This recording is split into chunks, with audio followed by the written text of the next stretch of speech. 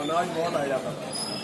तो उस अनाज को बेचना मतलब ये वो जिसने श्रद्धा से दिया, उसके साथ नाइंसाफी होगी आपने दिया कि गरीब को वो हिंदी फ़िल्म इंडस्ट्री के अच्छे गायक भी रहे, इतनी शक्ति हमें देना रहता मन का विश्वास कमज़ोर होना ये उन्होंने गाया हुआ है। कई गजलें उन्होंने गाई हैं जो उनकी बहुत फ़ेमस गजलें हैं हिंदी फ़िल्म इंडस्ट्री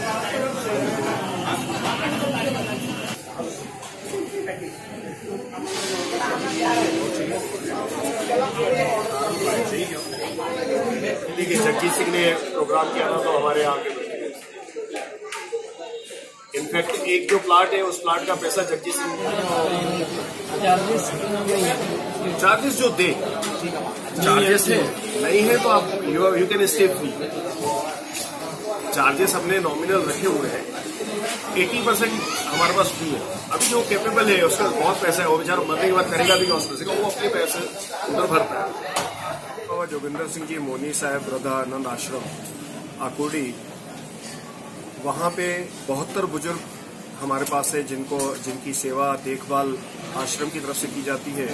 उनके लिए नर्सिंग स्टाफ और लाइट और दूसरे जो खर्चे रहते हैं, उसका बोझ ज़्यादा होने की वजह से हमने कल एक गज़ल बहार करके प्रोग्राम, ये इस तरह का प्रोग्राम बॉम्बे और लंदन में भी ऑलरेडी अशोक खोसला जी परफॉर्म कर चुके हैं।